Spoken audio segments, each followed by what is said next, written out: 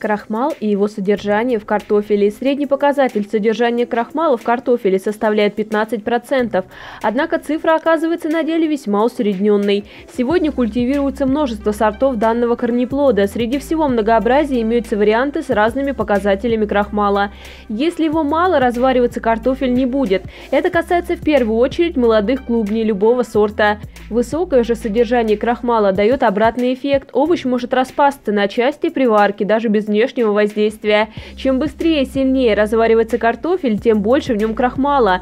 Вот единственно верный ответ на данный вопрос. Как выбрать подходящий картофель? Крахмалистость корнеплодов можно узнать заранее, ориентируясь на сорт и другие показатели. Достаточно спросить об этом у продавца. Если такой возможности нет, можно различить разновидности картофеля. Если необходимо приобрести картофель для пюре, к примеру, имеет смысл поискать разновидности со средним содержанием крахмала. Если кожица корнеплода жесткая и плотная, а мягкость желтоватая. Он может развариться до нежной рассыпчатой мякоти. Его стоит выбирать для запекания. Однако для варки и для салатов такие варианты не подойдут. В остальном средний показатель в 15-25% универсален. Другие причины, вызывающие растрескивание картофеля при варке – чрезмерно высокие температуры, излишняя продолжительность варки, механическое вмешательство, а также интенсивное помешивание. Все это может привести к тому, что клубни растрескаются, начнут распадаться. Если положить в кастрюлю картофелины разных размеров, самые мелкие сварятся быстрее крупных.